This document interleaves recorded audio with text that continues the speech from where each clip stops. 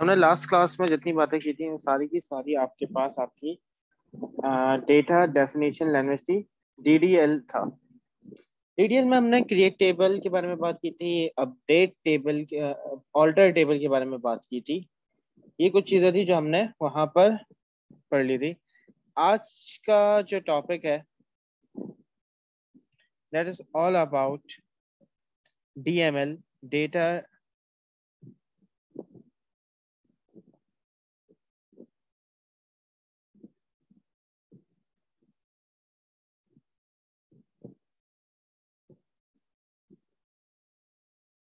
uh, manipulation.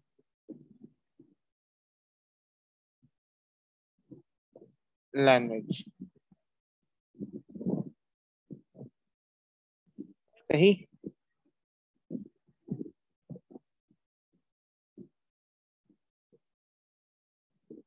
अच्छा अब तक जितनी भी साल आपके गुजर चुके हैं ये जो न्यू नाइन सिलेबस आया नाइन सिक्स वन एट इसके अंदर डेटा मैनिपुलेशन लैंग्वेज के ज़्यादा क्वेश्चन आते हैं as compared to D M L या तो वो आपसे कंपैरिजन करवा रहा होता है कि आपका table one N F two N F three N F में नहीं है तो क्यों नहीं है है तो क्यों है, ये चीज़ें पूछ रहा होता है। या आपसे कहता है कि इसको कन्वर्ट कर दो सेकंड एन एफ़ से थर्ड एन एफ़ में फ़र्स्ट एन एफ़ से सेकंड एन एफ़ में। या ज़्यादातर आपके पास क्वेश्चन आते हैं कि क्वेरीज लिख के दे दो डेटा इंसर्ट करने के लिए। टेबल बनाने के लिए टीडीएल के क्वेश्चंस कम आते हैं एज कंपेयर टू डीएमएल और बच्चों की लॉजिक बिल्डिंग क्वेरीज ज़्यादातर मसला आता ही उनका डीएमएल के अंदर है। डीएमएल के अंदर आपके पास आप कमांड्स यूज़ करते हो। इंसर्ट सही। इंसर्ट के बाद वी यूज़ अपडेट ये तो वाहिद कमांड्स हैं। जो आपके पास सबसे ज़्यादा यूज़ की जाती है डेटा इंसर्ट करने के लिए। इसके अलावा आप इसमें डिलीट भी यूज़ करते हो।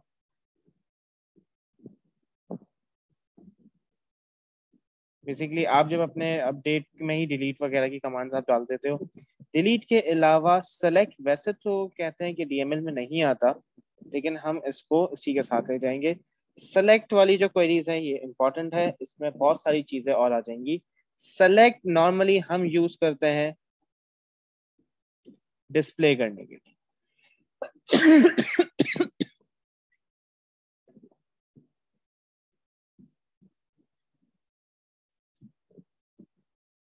स्टार्ट करते हैं सबसे पहले इंसर्ट की कमांड से।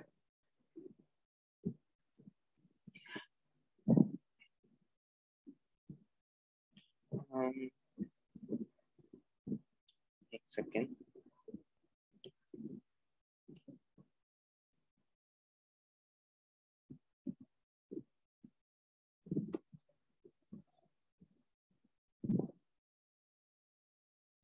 मेरे पास, हम जो बात कर रहे हैं, ये इन टेबल्स की बात करेंगे। Order city countries order products और प्रोडक्ट या फिर हम कुछ और डेटा के बारे में भी बात कर सकते हैं। अब होता क्या है आपके पास? लो हमारे पास, मुझे सपोज़ मेरा, हमने याद है डीडीएल के थ्रू ऑर्डर का टेबल बनाया था, जिसमें हमने प्राइमरी की नम को रखा था। कस्टमर नेम और सिटी वगैरह भी कर लिया था सिटी कंट्रीज़ का टेबल भी क्रिएट कर लिया था ऑर्डर प्रोडक्ट्स भी कर लिया था एंड प्रोडक्ट का टेबल डीडीएल के थ्रू टेबल डेफिनेशन लिख ली थी। अब टेबल मुझे टेबल में डेटा एंटर करवाना डेटा एंटर करवाने के लिए वी यूज़ कमांड इंसर्ट किसमें इंसर्ट करना है डेटा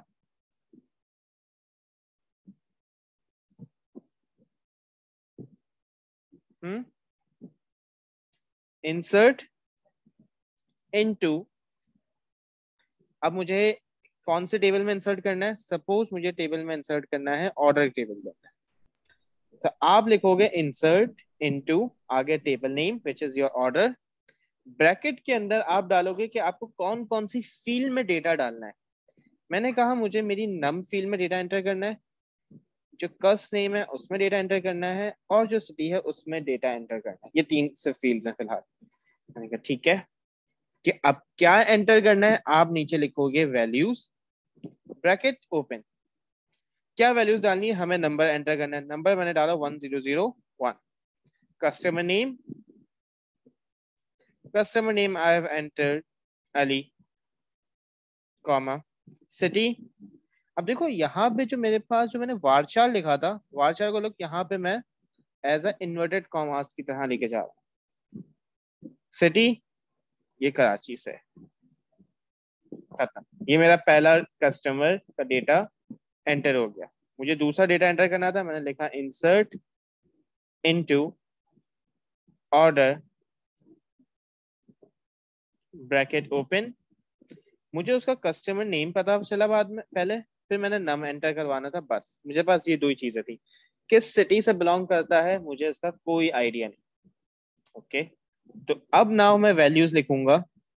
ब्रैकेट ओपन ये आगे पीछे लिखने का सिर्फ़ एक ही रीजन था आपको ये बताने का कि टेबल आपने किस ऑर्डर में बनाया है इट डजेंट मैटर आप यहाँ पे ऑर्डर जिस ऑर्डर में लिखोगे वो उस हिसाब से चलेगा।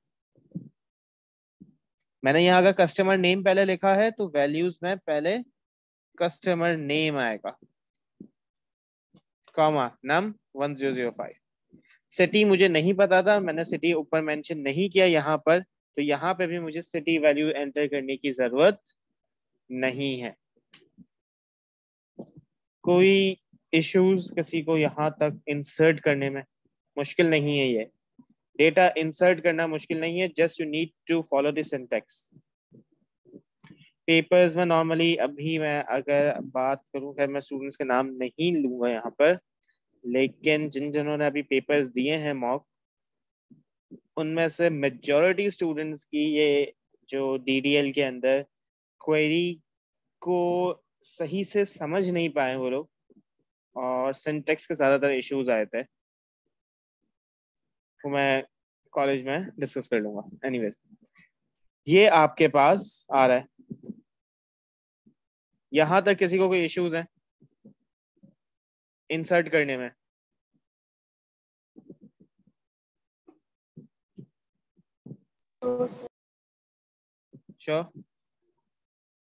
Ahmed, Anas, Isma, Jared, Kashaf, Michelle, Sami, Shah, Abdullah और वली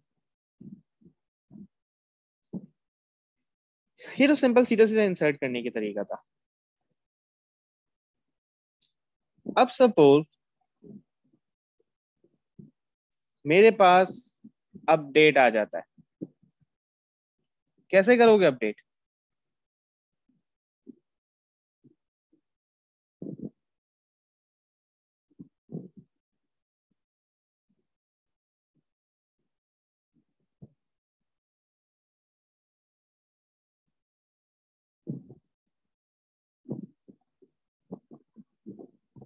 सेलेक्ट करके नहीं बेटा सेलेक्ट का मैंने बताया था select is only use to display things जब भी आपको कुछ चीज़ें इंसर्ट वगैरह करनी है we will simply use insert command update commands और other we will use delete commands nothing else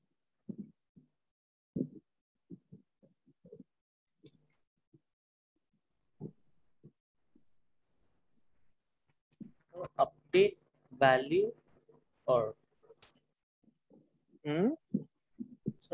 जैसे आप update order and the custom name सब कुछ डालोगे या? अपडेट कुछ भी अपडेट कर सकते हैं। सपोज़ जिस मैंने यहाँ पर फरा का सिटी डालना भूल गया था या फरा का सिटी मुझे नहीं मालूम था, अब मालूम हो चुका है। तो मैं क्या करूँ?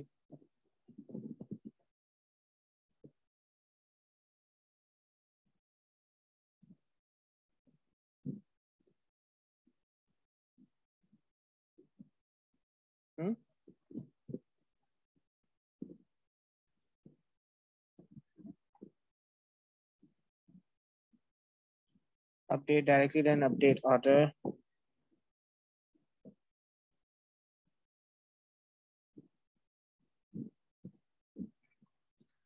अब अपडेट की कमांड्स कैसे यूज़ की जाती है? अपडेट की कमांड आप यूज़ करते हो अपडेट लिखा आपने। कौन से टेबल को अपडेट करना है? I need to update order table मैंने ऑर्डर टेबल को अपडेट में ले आया या आपने टेबल को उठा के ले आया। अपडेट ऑर्डर क्या अपडेट करना है? I need to set city मुझे सिटी को सेट करना है। सिटी की क्या वैल्यू रखनी है?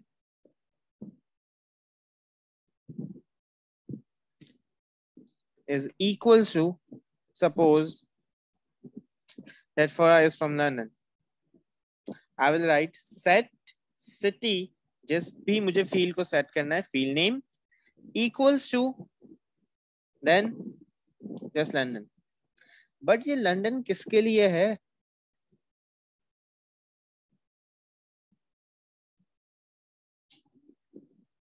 So to identify that, I will write where, where num is equals to 1005.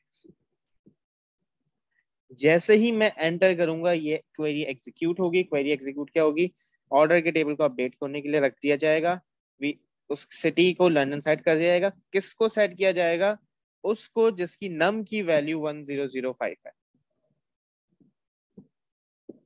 मतलब देखो, है मुश्किल नहीं। आपको जस्ट एक एक चीज़ लेके चलनी है। है नॉर्मल इंग्लिश देखो अपडेट ऑर्डर करो सेट कर दो सिटी को लंदन जहाँ पे नम की वैल्यू 1005 है, खत्म।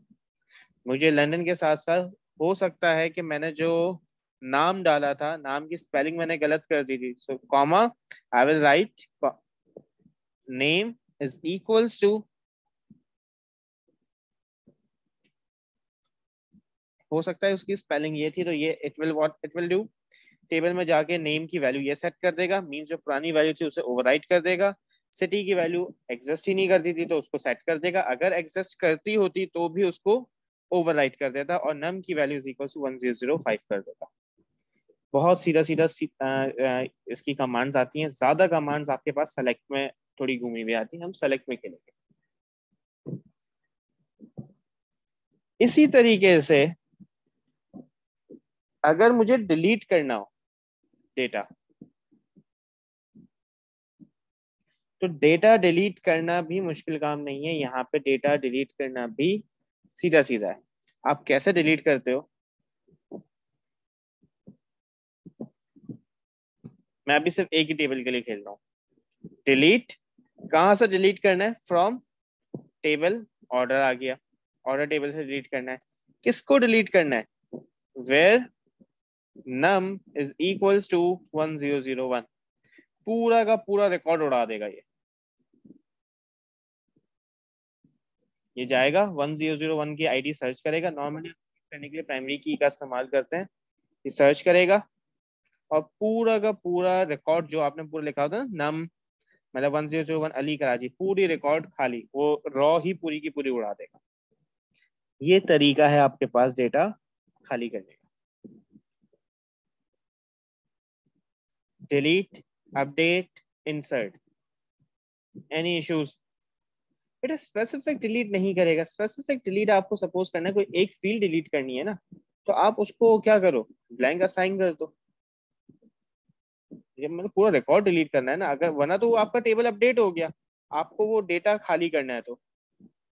सिटी का करना है आपने लिखा update order set city is equal to M space where num is equal to one zero zero one city को एम कर देगा।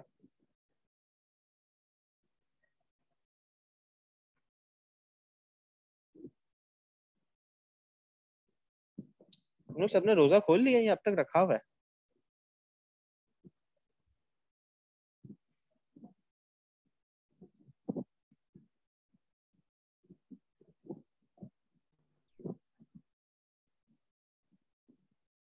Hello. Repeat the question? uh, नहीं मेरा क्वेश्चन बहुत अजीब सा था वो मैं वापस रिपीट नहीं कर सकता। But I just want to say कि I just want to ask कि सब जाग रहे हो या सो रहे हो अब?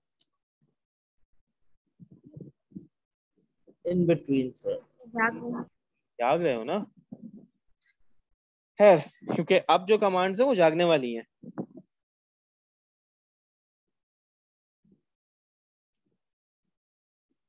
अब मेरे पास आ जाती हैं सेलेक्ट की कमांड्स सेलेक्ट यूज़ किया जाता है डिस्प्ले करने के लिए।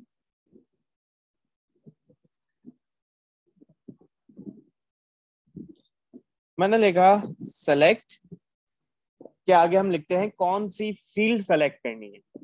तो मैं सिंपली लिखूँगा सेलेक्ट फ़ील्ड नेम कहाँ से उठानी है? फ्रॉम टेबल नेम मैं चाहता था कि सारी की सारी फ़ील्ड टेबल में जितना डेटा है ना, सब कुछ आउटपुट कर दे। मैं क्या लिखूँगा? सेलेक्ट स्टेरिक फ्रॉम टेबल क्या टेबल नेम क्या है हमारे पास?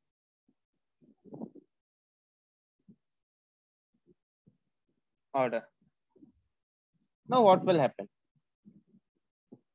जैसे ही मैं ये कमांड एग्जीक्यूट करूँगा this asterisk means all fields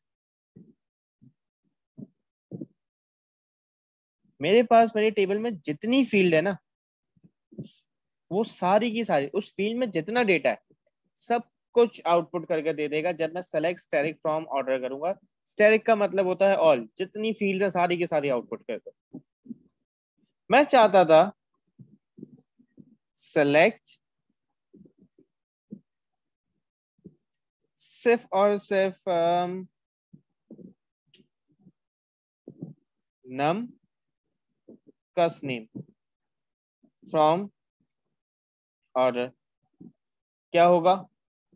देखो सेलेक्ट के आगे मैंने फ़ील्ड नेम लिखी है मतलब नम के अंदर जितना डेटा पड़ा है वो कस्टमर नेम में जितना डेटा पड़ा है, वो कौन सा टेबल से ऑर्डर के टेबल से उठा के ले आए। कोई इश्यूज़ यहाँ तक?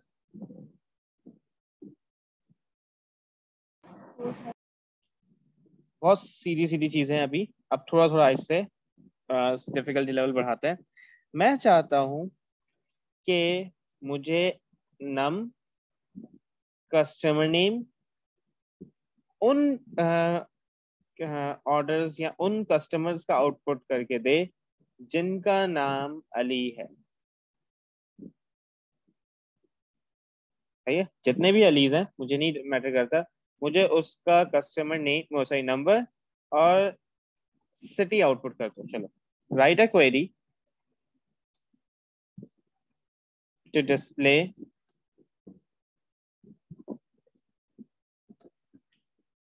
num and city name of the customers whose name is Ali.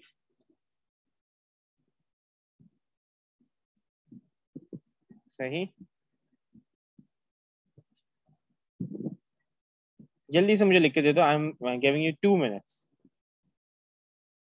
नहीं नहीं, यहाँ पे चैट पे सेंड कर दो, छोटी सी तो क्वेरी है छोटी छोटी क्वेरीज है यहाँ पे।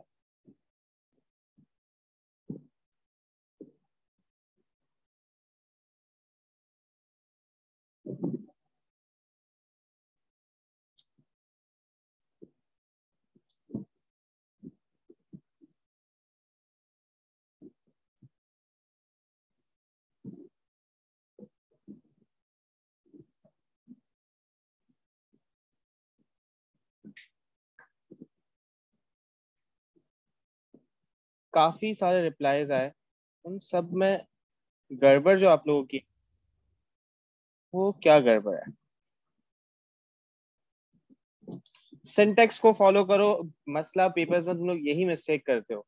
आधी ज़्यादा चीज़ें सही लिखते हो लेकिन स्टिल गड़बड़ कर जाते हो। What I need to do is I need to select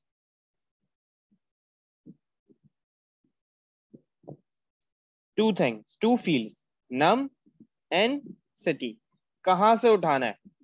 from order ये सीधा सीधा एक सिंटेक्स आ गया है। अगर मैं सिर्फ़ इस सिंटेक्स को एग्जीक्यूट कर देता हूँ तो मेरा मसला क्या आना है? कि नम और सिटी में जितना डेटा पड़ा है इन दोनों फील्ड्स के अंदर वो सारा का सारा एज इट इज़ आउटपुट हो जाएगा। मैं भी इसको प्रैक्टिकली एग्जीक्यूट करके भी दिखाता हूँ कोई और टेबल के, के लिए सीक्वल एडिटर में हम जाते हैं। डब्ल्यू थ्री स्कूल का ऑनलाइन है, आप भी उस पर जाके प्रैक्टिस करो, ज़्यादा बेटर रहेगा। लेकिन अगर ये करता हूँ तो मुझे सिर्फ़ क्या करना है, उसका करना है, उस कस्टमर का जिसका नाम अली है। अब जितने भी अली हैं उसका मैटर मुझे नहीं करता। वेर कस्ट नेम है, बेटा कस्टमर नेम पूरा नहीं है फ़ील्ड के नाम वही लिखो जो टेबल में गिवन है। टेबल डेफिनेशन में या टेबल में जो गिवन हो सेम वही के वही नाम आपको लिखना है। Cust name is equals to Ali this was the proper one ये कस्टमर नेम पूरा कस्टमर्स लिखना टेबल का नाम चेंज कर देना, ये सब चीज़ें नहीं करनी। सही? वली, अब्दुल्ला चीज़ें सही थी, लेकिन कौन से टेबल से पहले वो मेंशन करना होता है। Wali is it clear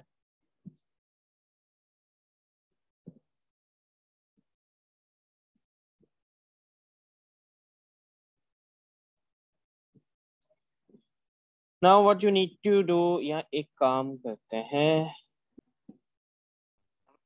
Excel नज़र आ रहा है आप सबको?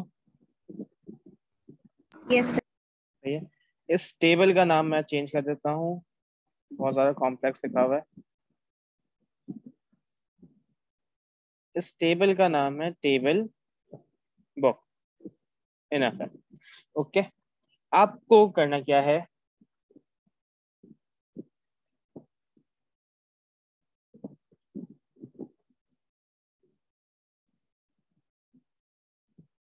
Write a query to output book IDs only of those books who are whose prices are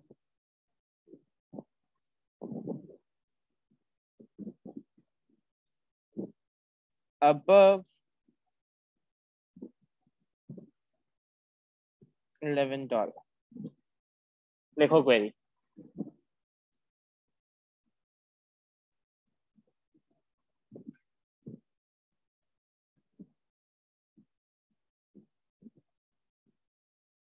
I need to output book IDs याद रखना बुक आईडीज चाहिए, सही है?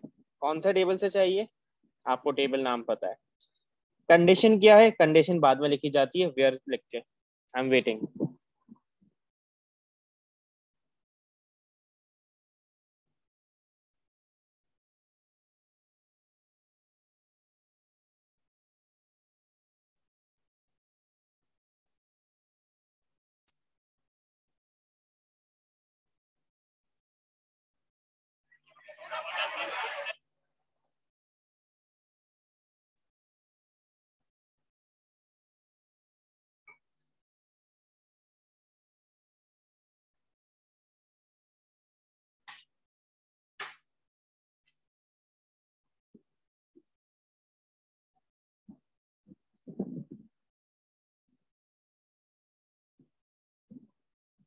quickly.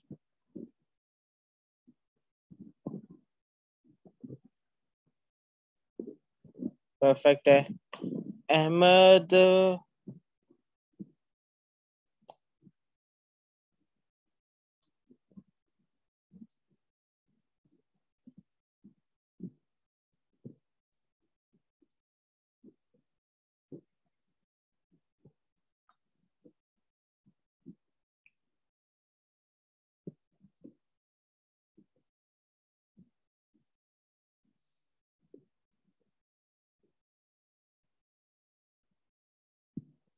Abdullah छोटा सा मसला है बेटा इक्वल्स टू नहीं है।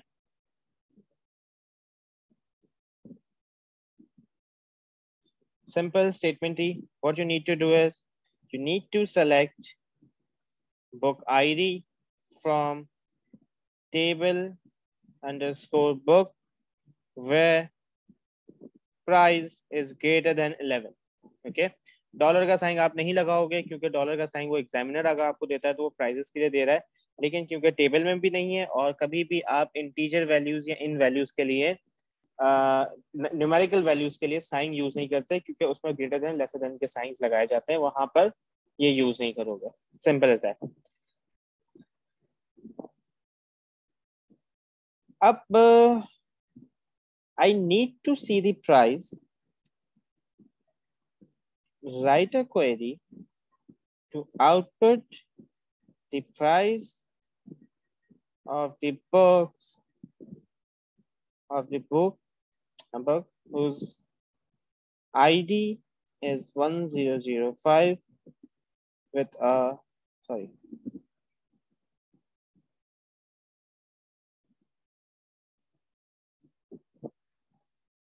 बल्कि मेरे को क्वेरीज लिखना आ गई हैं, अगर बेसिक तो अब चलो थोड़ा सा स्कोर बढ़ाते हैं। राइट क्वेरी जो output yeah, or to display.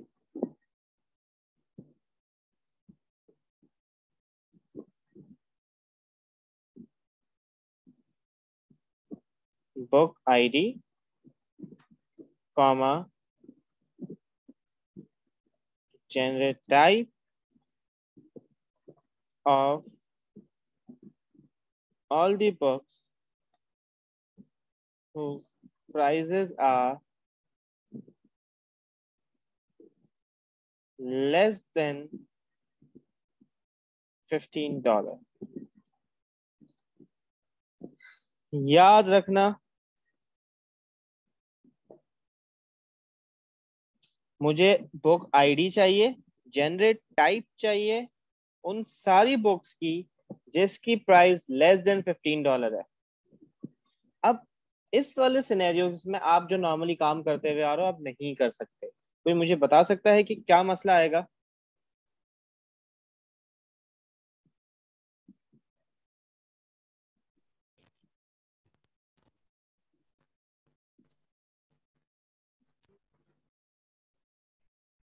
Anyone table table अलग अलग है।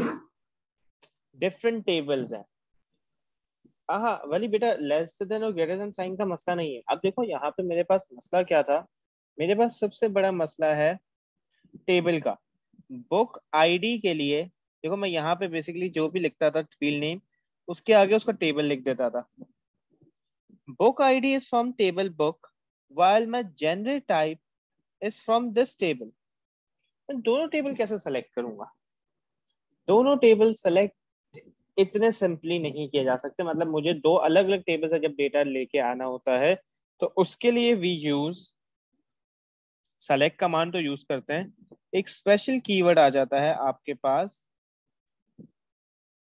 इनर जॉइन के नाम से।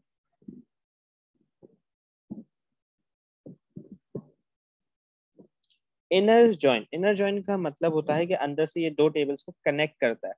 कनेक्ट कैसे करोगे आप?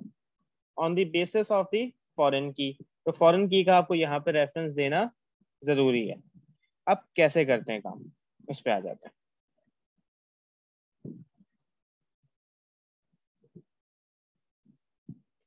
आपने यहाँ पे अब काम करना है काम करने के लिए सिंपली लिखना है। ठीक है, हम ये कर चुके हैं।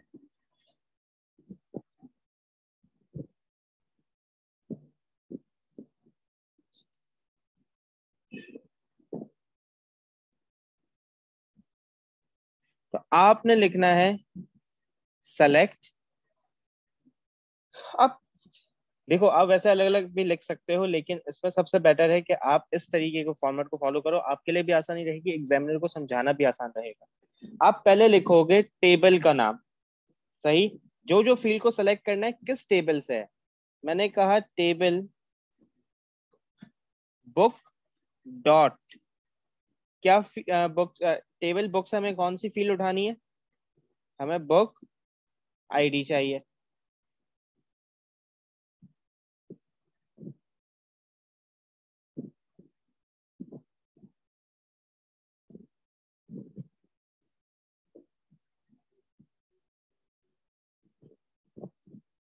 ठीक है?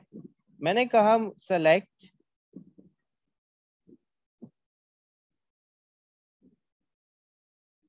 टेबल बुक टेबल का नाम देन डॉट और फिर फ़ील्ड का नाम। कॉमा दूसरी फ़ील्ड कौन सी है? टेबल जेनरे डॉट उसमें से कौन सी उठानी है मुझे? जेनरे टाइप चाहिए। फ्रॉम जिसमें से हम मेन सारा काम कर रहे हैं, हम टेबल बुक पे काम कर रहे हैं तो मैंने कहा फ्रॉम टेबल बुक ये तो हमारी पुरानी टाइप की स्टेटमेंट्स हो गई। बस हर फ़ील्ड से फ़ील्ड के नाम से पहले मैंने जस्ट क्या ऐड कर दिया, यहाँ पे आपके टेबल्स के नेम्स डाल दिए। अब काम करते हैं।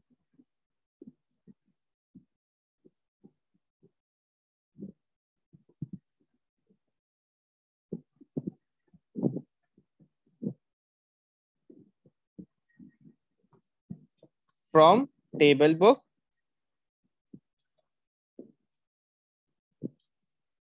Inner join. सही? मुझे इनर ज्वाइन लगाना है। किस पे लग चुके इनर के बाद स्पेस पे ज्वाइन है। आप आउटर ज्वाइन वगैरह भी आते हैं। हम फ़िलहाल इनर ज्वाइन की बात कर रहे हैं। आप बेसिकली इनर ज्वाइन का मतलब इंटरसेक्शन निकाल रहे होते हो। तो इनर ज्वाइन किस बेसिस पे? किसके साथ? टेबल अंडरस्कोर जनरे लेकिन किस बेसिस पे बना रहे हो? ऑन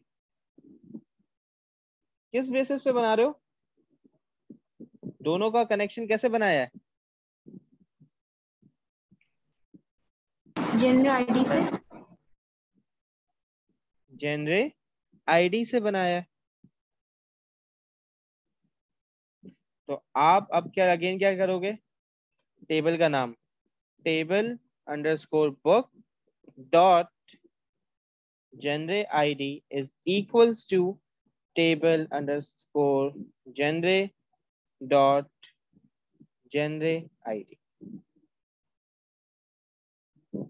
ये क्या करेगा? इन दोनों का आउटपुट कर देगा। हाँ अब आपको कंडीशन लिखनी है। आप कंडीशन लिख लो वेयर प्राइजेस या प्राइस इज़ लेस देन कितनी है? फिफ्टीन है? Fifteen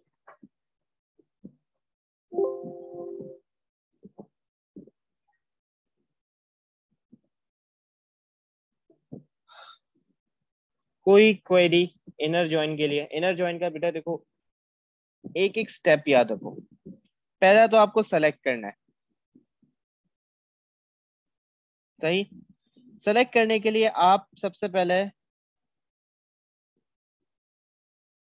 field dot sorry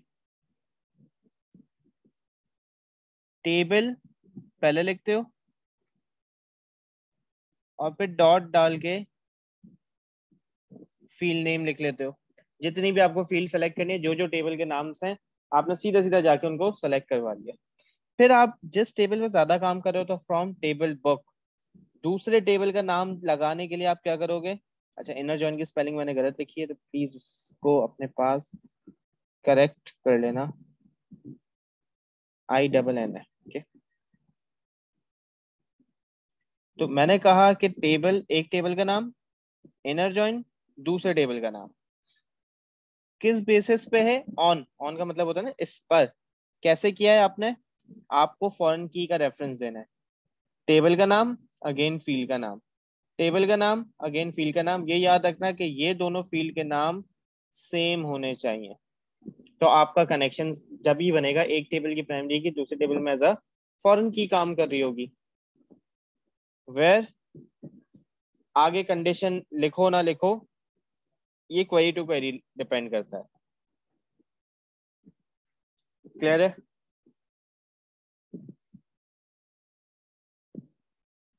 yes sir पक्का?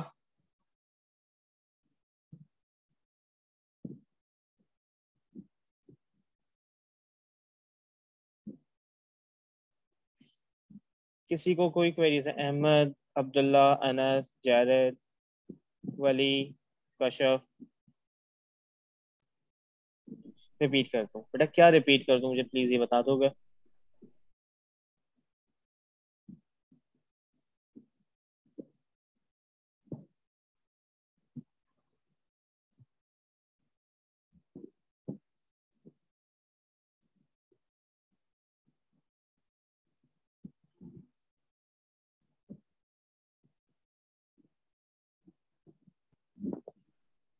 या एग्जैक्टली सूडो कोड की तरह है।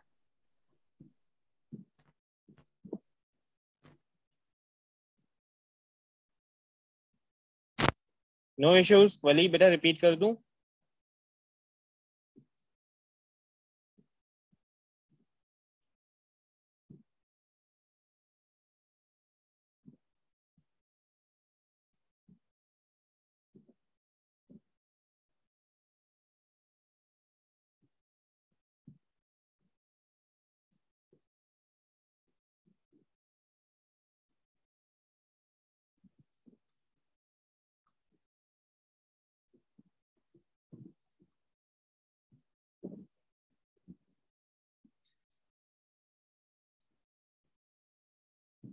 जस्ट ये याद रखना चीज़ें, जब भी आपको सेलेक्ट करना होता है दो अलग अलग टेबल से तो दो अलग अलग टेबल के लिए आप सेलेक्ट करते हो पहले टेबल का नाम, फिर फ़ील्ड का नाम टेबल का नाम, फिर फ़ील्ड का नाम। फिर आप लिखते हो फ्रॉम दोनों टेबल्स के नाम लिखने के लिए एक टेबल का नाम, दूसरा कीवर्ड आप डालते हो उन दोनों के बीच में इनर जॉइन और फिर दूसरे टेबल का नाम। सही? ये दोनों टेबल को आपने ज्वाइन किया। लेकिन किस बेसिस पे ज्वाइन कर रहे हो? तो ऑन आपने लिखना है फ़ील्ड टेबल का नाम। मतलब ये आप, अब जो लिख रहे हो ना, ये बेसिकली आपने एक जगह की प्राइमरी की को सॉरी यहाँ पे ये फॉरेन की होगी और यहाँ पे ये मेरी प्राइमरी की है।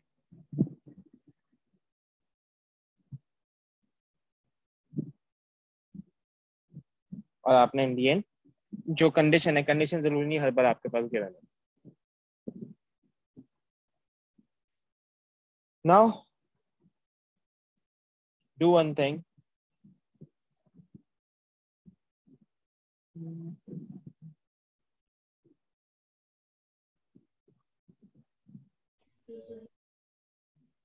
what you need to do is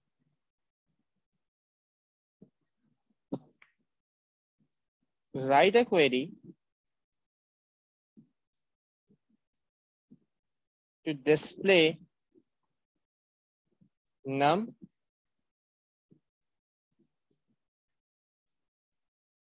and country name of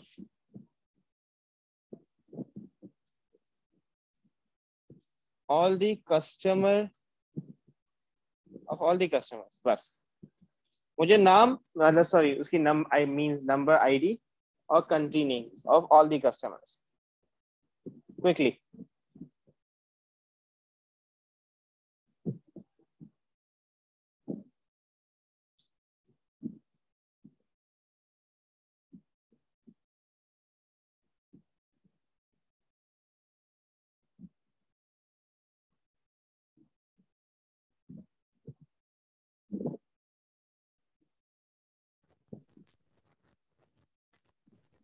ध्यान से सुनते रहना। What I need to do is, I need to select okay num num किस टेबल से? ऑर्डर के टेबल से।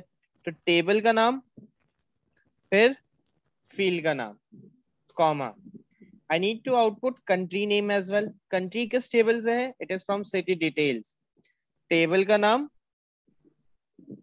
डॉट फ़ील्ड का नाम। डन? यहाँ तक क्लियर है चीज़? है Yes, sir. Enter from which table order table कर दो। इनर जॉइन ऑर्डर के साथ इनर जॉइन कौन से टेबल के साथ?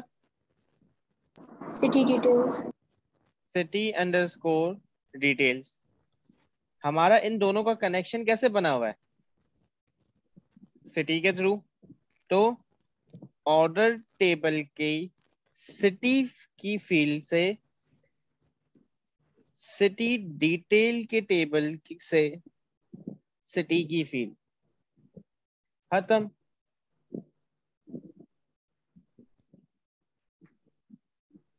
इसकी लॉजिक क्या है? तो बेटा कब से लॉजिक ही तो समझा रहा हूँ?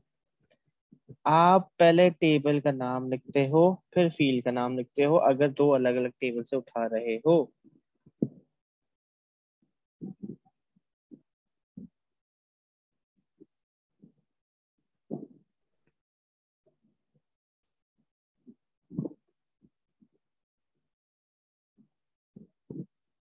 Yeah, it would always go like this. We need to write select. Table name then field name table name field name फिर from which table order table दूसरे टेबल से कैसे कनेक्ट किया जा रहा है दूसरे कौन से टेबल से कनेक्ट किया जा रहा है सिटी के टेबल से कनेक्ट किया जा रहा है सही है मींस ऑर्डर और सिटी को कनेक्ट किया जा रहा है on which basis this city in the city details table here it is as primary key working as a foreign key in the order table so here i have mentioned it that on order means this table की कौन सी field city ये किसके mention पे आ रही है city details के table के सिटी की फ़ील्ड ये वाले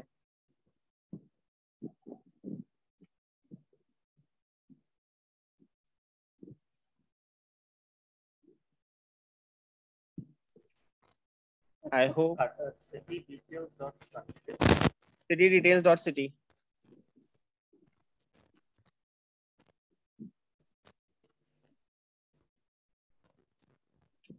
वली कुछ और क्वेरी या किसी और को कोई क्वेरी है? अब्दुल्ला अनस अहमद मिशाल। नो सर हो गया।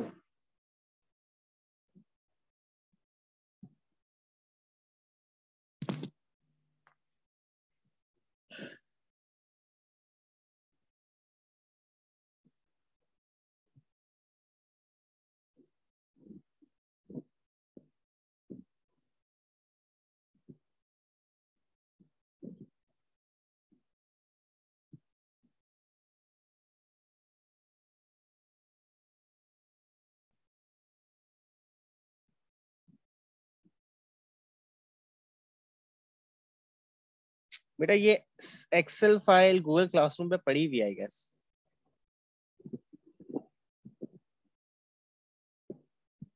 लेकिन ये एक्सेल फ़ाइल ले लो मुझसे मसला वैसे गूगल क्लासरूम पे पूरी अपलोडेड है ये इसको, मैं इसको भी सेव करके अपलोड कर देता हूँ। बट इसमें around one total seven sheets हैं। तो देख लेना किसमें कहाँ पे क्या है, मुझे खुद याद नहीं है। Now write a query to display all the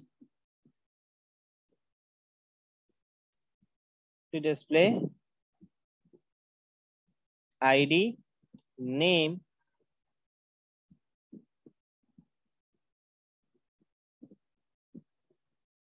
of all the students who are taking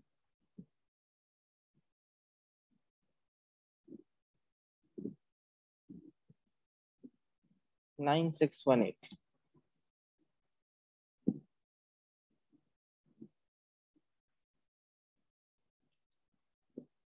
We need to output ID and name of all the students who are taking nine six one eight. क्या इसमें inner join लगेगा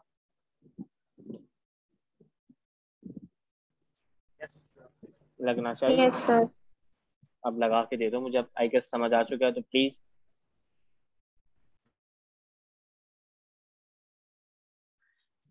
now select मुझे क्या करना है? ID चाहिए। ID मैंने कहा, मैं सब स्टूडेंट सब्जेक्ट के टेबल से उठा रहा हूँ। स्टूडेंट सब्जेक्ट्स के टेबल से डॉट आईडी मतलब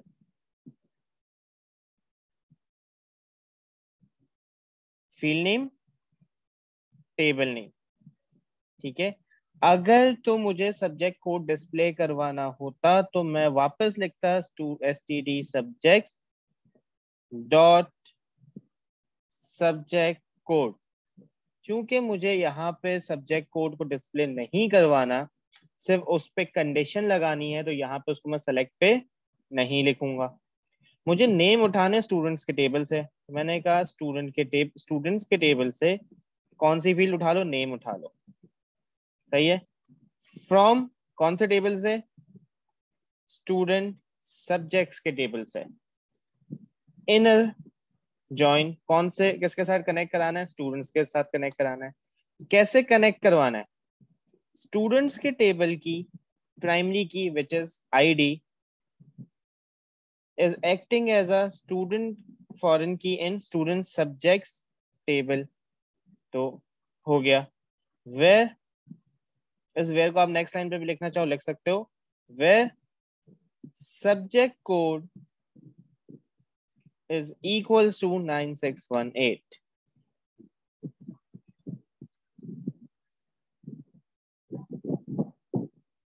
अब ये चीज़ें क्लियर है?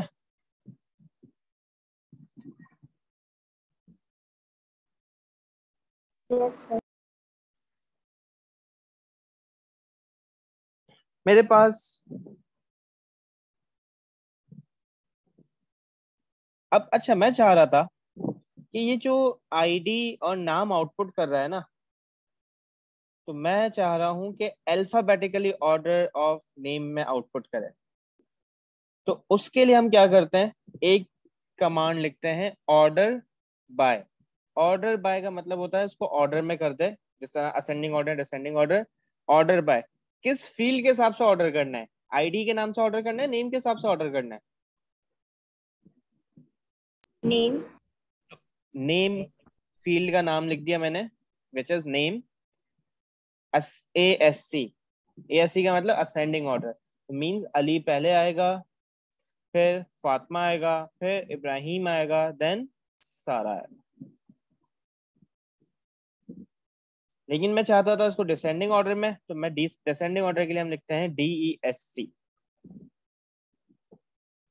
तो मैं भी फ़िलहाल ए एस सी लिख रहा हूँ। तो ये क्वेश्चन को अगर मैं चेंज कर देता हूँ।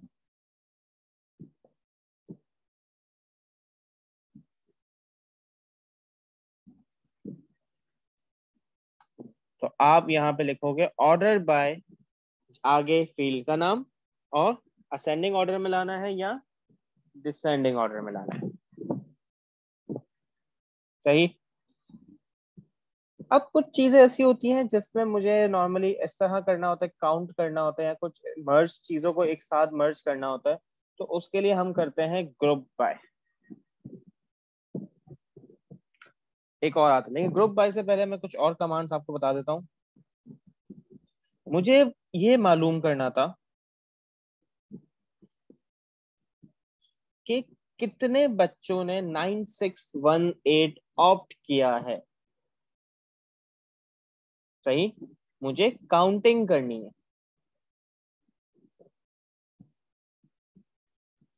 काउंटिंग कैसे करते हैं?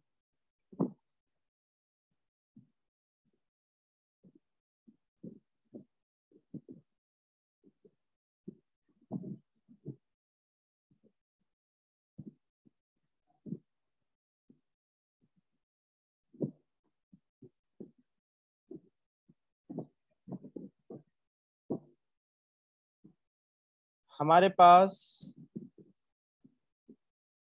काउंटिंग सम या एवरेज अगर मुझे फाइंड आउट करनी हो तो हम कैसे करते हैं? काउंट का सिंपली सिंटेक्स है। सेलेक्ट सही है? काउंट का फ़ंक्शन बुलाया। किस फ़ील्ड को काउंट कराना है? मुझे सब्जेक्ट कोड को काउंट करवाना है ना? तो मैंने कहा सब्जेक्ट कोड को काउंट करे। कौन से टेबल से? फ्रॉम स्टूडेंट सब्जेक्ट्स के टेबल से। क्या? Where subject code is equals to nine six one eight जैसे ही मैं ये लाइन एग्जीक्यूट करूँगा, ये मुझे आउटपुट क्या करके दे देगा? एक आउटपुट आ जाएगा वन टू थ्री फोर चार बच्चों ने नाइन सिक्स वन एट किया हुआ है। हाँ मैं चाह रहा था कि इसको आउटपुट करा दूँ किसी फ़ील्ड नाम एक मतलब एक हेडिंग के साथ। तो काउंट सब्जेक्ट कोड स्पेस आप एक हेडिंग का नाम लिख दो। मैंने लिखा सी एस स्टूडेंट्स सही? तो ये क्या करेगा? एक आउटपुट यहाँ पे आएगा मेरे पास कुछ इस तरीके से। हेडिंग आएगी सी एस स्टूडेंट्स नीचे आउटपुट आ रहा होगा फोर ये किसकी? इसकी एग्जीक्यूशन है। इसका रिज़ल्ट आउटपुट इसी तरीके से एवरेज भी होता है इसी तरीके से आपका आ, सम भी होता है। मतलब सपोज़ मैं चाह रहा था कि मुझे मेरी क्लास की टोटल एज क्या है बच्चों की वो मालूम करनी थी। मैं सिंपली लिखूँगा सेलेक्ट सम कर दे। किसको सम करे? एज को सम करे। कौन से टेबल से? फ्रॉम स्टूडेंट्स के टेबल से। वे अच्छा मुझे और आगे कुछ वेयर की ज़रूरत नहीं आएगी। कंडीशन की ज़रूरत नहीं है। तो खाली छोड़ दो।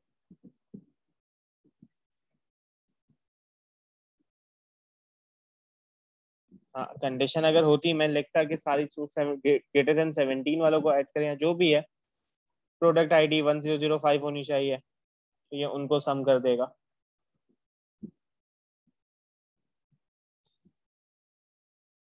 एनी इश्यूज़ इसी तरीके से मुझे जब वो करना था तो select average age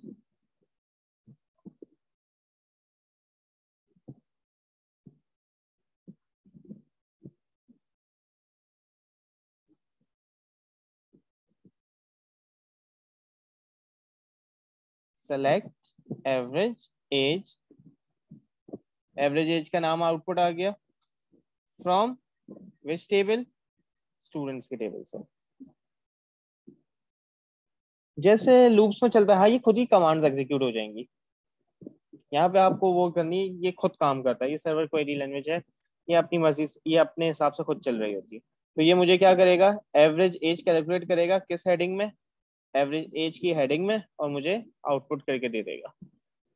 इसी तरीके से मिनिमम और मैक्सिमम एज भी अगर मुझे चाहिए तो मैं लिखूँगा सेलेक्ट मिन एज उसको क्या कर दे? मिनी के हिसाब से कर दे। फिर मैक्स चाहिए तो मैक्स एज इसको मैक्सी के नाम से कर दे। फ्रॉम कौन से टेबल स्टूडेंट्स के टेबल से। खत्म नहीं बेटा, ये नहीं पढ़ा मैंने कहा था, जो लास्ट क्लास है वो यहाँ पे मुझे पढ़ानी थी, यही चीज़ें मुझे पढ़ानी थी।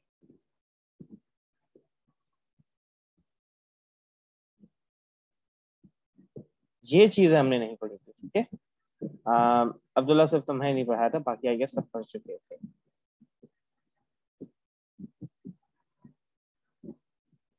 कोई मसले, अब एक रह जाता है ग्रुप बाय मैं ग्रुप बाय बता देता हूँ ग्रुपिंग कैसे करते हैं?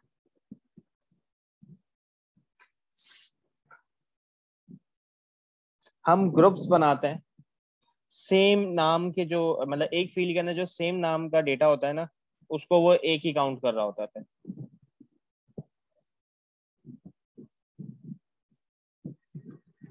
यहाँ पे किसी को कोई क्वेरीज है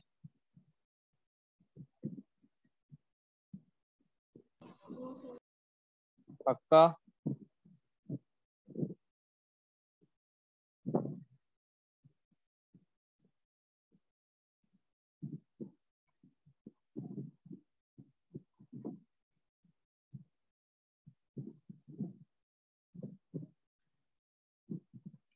तो इस आ जाते हैं।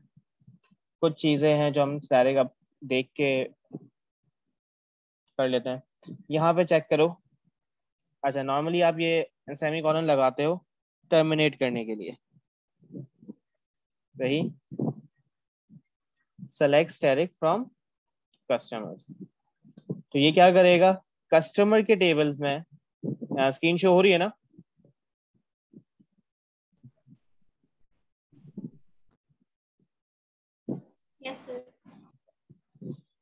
कस्टमर के टेबल में जितनी फील्ड्स हैं, उनका सारा मतलब पूरा कस्टमर का टेबल आउटपुट कर देगा। रन सीक्वल किया मैंने नाउ लो आ गया नीचे? ये पूरा एक कस्टमर का टेबल ऑलरेडी बना हुआ था। आप चाहो तो इसमें प्रैक्टिस कर सकते हो। ये ऑनलाइन सीक्वल एडिटर है। आपको सीक्वल सर्वर डालने की ज़रूरत नहीं है। डब्ल्यू थ्री स्कूल्स का सीक्वल एडिटर आप गूगल पर सर्च करोगे, फॉरन आ जाएगा। मैं चाह रहा था I need to select customer ID from customer okay where city is equals to Berlin ठीक है? बर्लिन में जितने भी कस्टमर्स थे वो ये अब उनको आउटपुट कर देगा।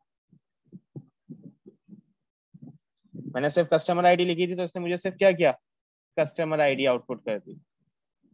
उसके साथ साथ और क्या क्या इन्फॉर्मेशन थी? एक ही बंदा था तो बेचारे की एक की आई। कस्टमर नेम एड्रेस कंट्री ये सारी फ़ील्ड नेम्स थी। मैं चाह रहा था कि select customer ID customer name और postal code from customers where country is equals to Germany तो जर्मनी में जितने बंदे थे, ये सारे के सारे आ गए मेरे पास। लेकिन मैं साथ साथ चाह रहा था जर्मनी के अंदर कोई एक स्पेसिफिक मखसूस पोस्टल कोड या कोई एक और चाह रहा था तो मैं बीच में एंड का ऑपरेटर भी लगा सकता हूँ। And this. मतलब मुझे सपोज़ कस्टमर आईडी नहीं पता एक बंदे की, मुझे कस्टमर नेम और पोस्टल कोड पता था। तो मैंने उसका customer name as it is लिखूँगा और पोस्टल कोड। तो बीच में एंड का भी आप, एंड और और के ऑपरेटर्स भी लगा सकते हो।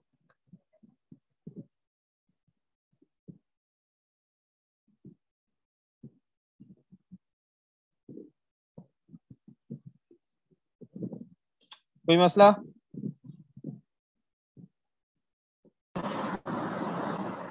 सर अच्छा अब मैं यहाँ पर ऑर्डर डिटेल्स का भी एक वो है ना हमारे पास। तो मैंने कहा select direct from order details तो ये ये मेरे पास ऑर्डर डिटेल्स का आ रहा है। मैं चाह रहा था कि मुझे पता चल सके कि मेरा कौन सा प्रोडक्ट कितनी बार बिका है। सही है? अब यहाँ पे चेक करो। जैसे प्रोडक्ट आईडी ऐसे बार प्रोडक्ट आईडी सपोज़ मेरे पास, मेरे लेस के पैकेट से कितनी बार बिके एक दफ़ा क्वांटिटी ट्वेल्व है। नीचे अगर हम उसको चेक करते हैं तो इलेवन तो वापस बतानी है देखते नहीं आ रहा। मैं एक काम करता हूँ, इसको चेक करने के लिए। Order by product ID ascending order में। आप चेक कर रहे हो? जैसे ही मैंने ये कमांड लॉन्च की, मेरे पास क्या हुआ? प्रोडक्ट आईडी असेंडिंग ऑर्डर में आ गई स्मॉलेस्ट टू लार्जेस्ट आ गई। कि प्रोडक्ट आईडी वन कितनी कितनी बार बिका है? Twenty four ten fifteen twelve fifteen अब मुझे इसकी क्वांटिटी एक साथ मालूम करनी थी कि कितना हुआ। मतलब मुझे इसका बेसिकली सम चाहिए। सही? अगर मुझे इसका सम चाहिए, मुझे क्या करना पड़ेगा? इस प्रोडक्ट आईडी के हर एक इंडिविजुअल मेंबर को, जो रिपीटिंग है उसको एज अ वन काउंट करना पड़ेगा। सही? तो उसके लिए हम यूज़ करते हैं कमांड हमारी ग्रुप बाय ये क्या करेगा? ग्रुप बाय का मतलब होता है कि जो सेम डेटा वाले जितने सेम रिकॉर्ड वाला जितना भी डेटा होता है, उसको एक काउंट करता है। मतलब ये जितने भी हैं one one one one one ये सबको क्या करेगा? एक काउंट करेगा और इसका टोटल निकाल देगा। कैसे? इसको देखो यहाँ पर। मैं मुझे प्रोडक्ट आईडी और टोट, टोटल कौन मतलब उसके आउटपुट करना है ना कि प्रोडक्ट आईडी की मैं टोटल क्वांटिटी कितनी हुई है। तो मैंने कहा सेलेक्ट प्रोडक्ट आईडी कॉमा मुझे सम चाहिए। याद आया? अभी मैंने सम को कैसे लिखवाया था? सम ब्रैकेट में आपने लिखा कि आपको कितनी, कौन सी फ़ील्ड को सम करना है? मुझे क्या करना है? इस फ़ील्ड को सम करना है। लेकिन इंडिविजुअली करना है कि वन का आउटपुट अलग दे प्रोडक्ट आईडी टू का आउटपुट अलग दे थ्री का आउटपुट अलग दे। क्योंकि अगर मैं सिर्फ़ और सिर्फ़ ये लिखता हूँ सम और select product sum quantity from table क्या नाम क्या है? ऑर्डर डिटेल्स है। और इसको रन करता हूँ। तो मेरे पास क्या हुआ? टोटल मेरे पास जितने भी टेबल में क्वांटिटी की जितनी वैल्यूज़ थी, इसने सबको सम कर दिया। लेकिन मैं चाह रहा था कि हर प्रोडक्ट को अलग अलग आउटपुट करके शो करेगी ये प्रोडक्ट आईडी वन में कितनी क्वांटिटी सेल हुई टू में कितनी सेल हुई? थ्री में कितनी सेल हुई? मेरा क्वेश्चन समझ आ रहा है नहीं आ रहा है? आ रहा है सर तो अगर मुझे वो काम करना है तो what I will do select product ID अच्छा एक और चीज़। मैंने कहा था कि मैं इसका फ़ील्ड का नाम भी डाल सकता हूँ ना। तो एज टोटल क्वांटिटी जैसे ही मैं ये लिखूँगा ना, अब देख लो यहाँ पे जो इसने हेडिंग का नाम क्या लिखा था? अपनी मर्ज़ी से डाल दिया था। अब जब मैं इसको एग्जीक्यूट करूँगा तो ये चेक कर लो। जो नाम मैंने दिया है उसको, जो मैं सम कर रहा हूँ क्वांटिटी को, उसको एज अ क्या आउटपुट करे? टोटल क्वांटिटी करे। तो आप एज ना भी लिखो, सिर्फ़ स्पेस डाल के लिख दो लिख दोगे तो वो भी एक्सेप्टेबल है। अब जो मेरा क्वेश्चन है, मैं उस पर आ रहा हूँ। मुझे चाहिए मेरी प्रोडक्ट आईडी भी आउटपुट करके दे कॉमा सम क्वांटिटी करके दे, सही as a total quantity from order details अब मुझे, क्योंकि आपको इसमें हर उसके लिए अलग अलग करना है तो मैं ग्रुपिंग करूँगा। मैं चाह रहा हूँ कि ग्रुप बना दे बाय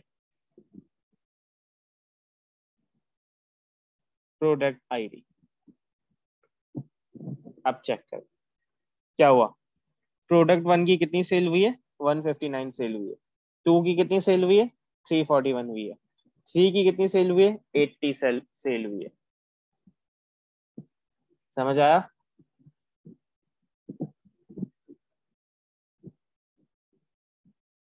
Yes इसी तरीके से आप एवरेज भी निकाल सकते थे। आप काउंटिंग चाहो तो आप उसको काउंट भी कर सकते थे। कि मैं अगर चाह रहा हूँ कि मेरे पास टोटल कितने प्रोडक्ट्स हैं तो मैं क्या करूँगा? सेलेक्ट काउंट ब्रैकेट में प्रोडक्ट आईडी बंद किया और ये आ गया। या मैं एक और चीज़ इसमें चेंज ये कर सकता था। Select static from order details. सही? मैं चाह रहा हूँ कि ऑर्डर आईडी ने कितने ऑर्डर्स दिए? One zero two four eight ने कितने ऑर्डर्स दिए? वन तो अगर ये मैं आउटपुट ऑर्डर आईडीज को काउंट करना चाह रहा हूँ, सही? तो अगेन अब मैं क्या करूँगा? Select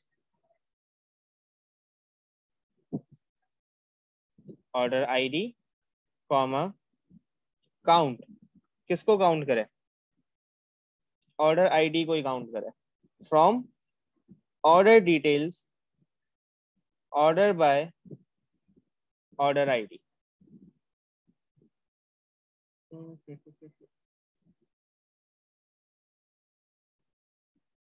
हमारे पास ऑर्डर आईडी थी।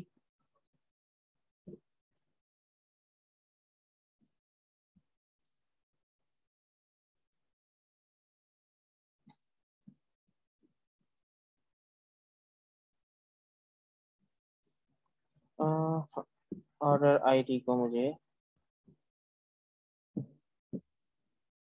बस तुम लोग के लिए भी काफ़ी ज़्यादा हो गया तो एक एक करके सब चले गए एक काम करते हैं हम, क्लास को यहीं पे एंड करते हैं।